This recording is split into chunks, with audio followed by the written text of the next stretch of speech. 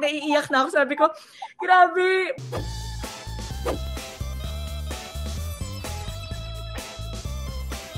Dims, ikaw, pag-usapan natin, you acknowledge to be one of the most brilliant actors in this country. Ay, Kanina, tinanong ako ng isang streamer about kailan ba ako dapat huminto na? Kasi ikaw ang ganda ng journey mo eh. Uh, kailan ba, Opo. Tito Boy, may, may, may pangarap ako, I wanna chase my mm-hmm. dreams. But when do I stop? Mm-hmm. Paano ko malalaman that it's time to give up? Of course, ang sagot ko is, you never give up uh, chasing your dreams, no? And it's a difficult mm-hmm. question to answer. But in your story, Dims, uh, meron bang panahon that you wanted just to go and walk away and you wanted to quit because nothing was happening? And what made you hang on? Tito Boy, you know my story very well. Actually, if there was yeah. one person who would know this, you would know that because you had me on your show every year and my answer was always the same. And my Correct. answer to that would be to never stop. I never stopped, Tito Boy, mm. even when it reached a point na grabe dalawang dekada yung Tito Boy and I was always on the sidelines. No? And you know what? Tito Boy, I didn't mind.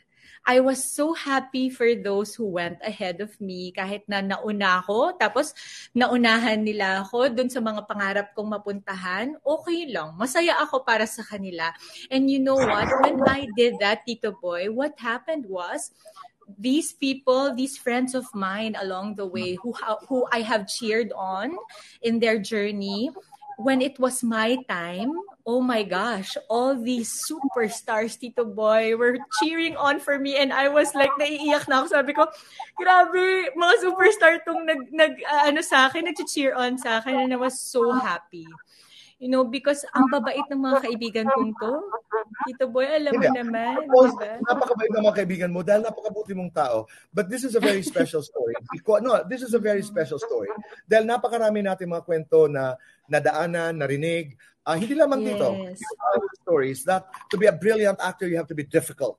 You know, to be a star, you have to have affectations. Yun ang kinagisa natin. we're talking about the Joan Crawfords, we're talking about the Betty Davis, the Catherine Hepburns, yung mga nakakatakot makausap.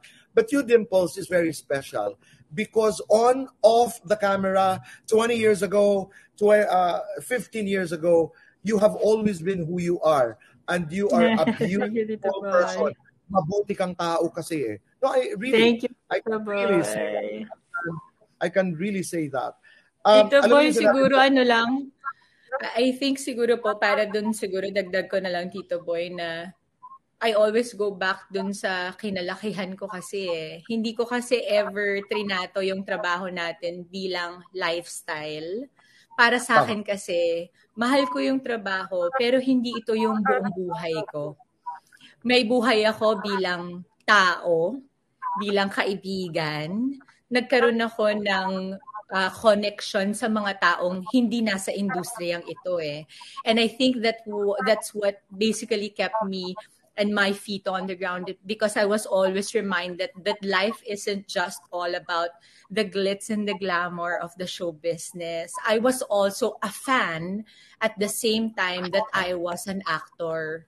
You know, so hindi ako parang ever nakaisip na ay, eto na yung narating ko. Hindi eh, kasi alam ko yung hirap nun, Tito Boy. Ah. 20 years yon bago umabot dun sa point na kahit papano, tatanungin ka, uy, ano po bang gusto nyo? Mag-pitch po ba kami sa inyo? Alam mo ba nung sinabihan niya ako, Tito Boy, mag-pitch sa viral scandal?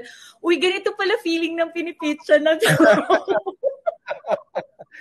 Kasi usually sinasabi lang sa akin, Dims, uh, hindi tinanggap ni ganito eh. Okay ba sa'yo to? Ay, kunin ko Tito Boy. Ayaw pala nila. Ay, kaya ko. Gawin ko. Mm. Mahal ka talaga ng industriya. Eh. And that makes a lot of difference. And I want Charlie to listen to this. Mahal na mahal ka ng industriya. Mahal na mahal ka ng mga kaibigan mo. At saka, yung sinasabi niya, Charlie, essentially is, sa journey ni Dimples, you never you never got out of your you were always true to your core you were always yes. true truth. Talagang pinanindigan mo yung katotohanan mo. You were never afraid to talk about your family. You were no, never afraid to talk about Boyer. You were never afraid to, you were real. Alam mo sinabi mong uh, hindi ka Churchill from the political uh, discourse. The biggest quote of Churchill was, never give For more videos and updates, just click here to subscribe.